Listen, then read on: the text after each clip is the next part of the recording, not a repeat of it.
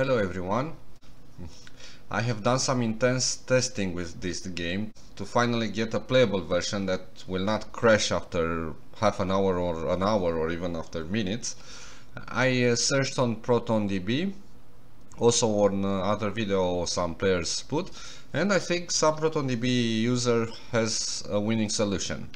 Unfortunately, it's in desktop mode, not in game mode. So this this could be a problem but at least if you want to play you can do so. I I managed to play two sessions of two hours each full battery of the Steam Deck in uh, desktop. And it didn't crash at least once. So maybe this is a winning solution. Who knows so you, you need you can do this also in uh, desktop mode, but I prefer to do it here.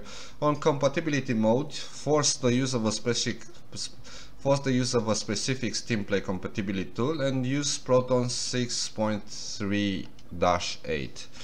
Uh, this is the most stable version, but as I said, it will only work in desktop. So choose this. And of course now go into the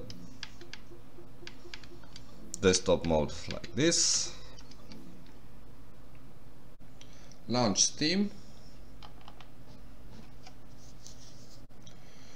And this is where you can make the changes from here also.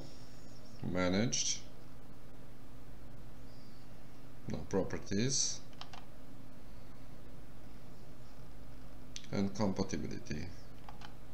As you can see it's the same as on the other side and now you can press play from here.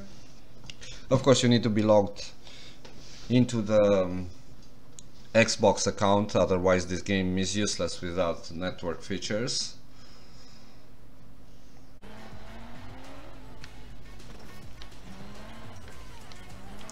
And as you can see now it is snowing. It's very beautiful Let's take a more spectacular car than this.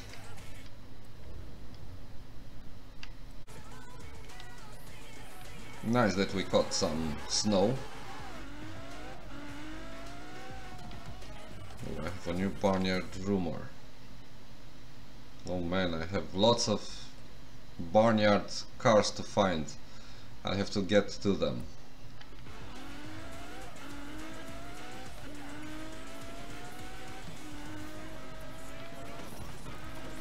Ah. No, not the sheep, man! I like the horizon very much. With the snow, it's very beautiful.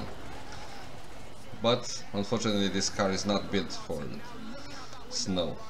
So it drifts a lot. Ooh, we have a tractor here also. Hello, tractor. Maybe we should get back to the roads. Oh, the snowplow. Yes, I won't be able to get too far on this car because it's not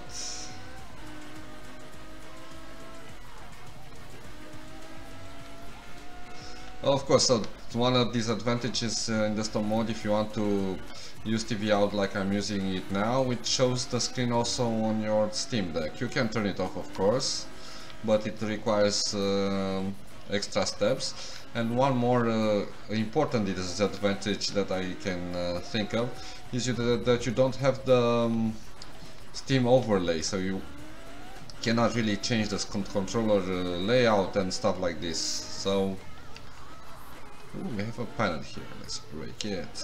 Yeah. Okay, let's go somewhere into a town to see the beautiful country the beautiful Britain. Hmm, I just need to return here. Let's set the course for here and see.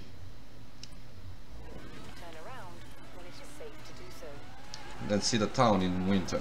It's not snowing anymore, unfortunately. And I'm spinning a lot. Because of the snow. I could get a more suitable snow vehicle.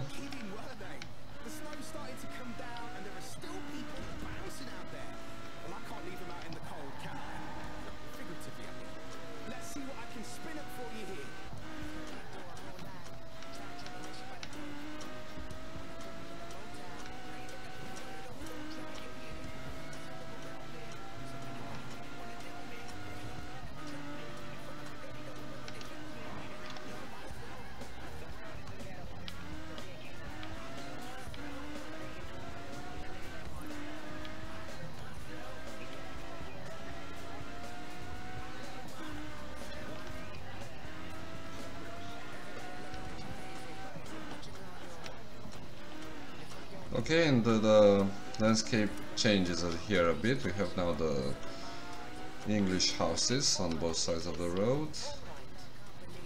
Oh, I managed to avoid that and now we're in the town.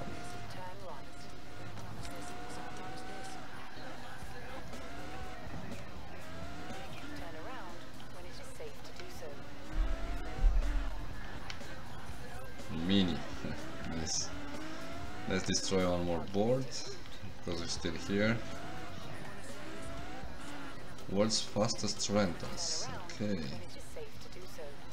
Destroy the boards. Okay, so let's see what else we have around the town.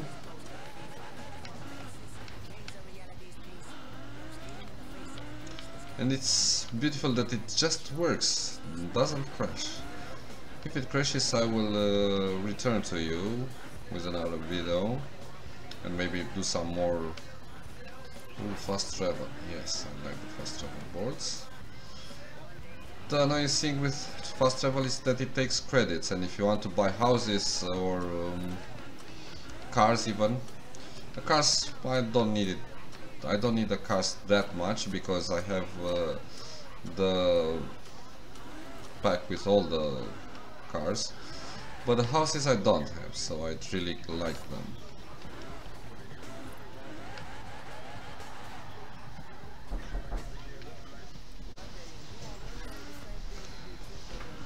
So I hope you managed to play Forza Horizon 4 without any crashes and I hope these tips will help you. And uh, thank you very much for watching this and uh, don't forget to subscribe for more uh, Steam Deck and uh, PlayStation 5 and other console Switch videos that also will be helpful and useful. I hope. Bye bye.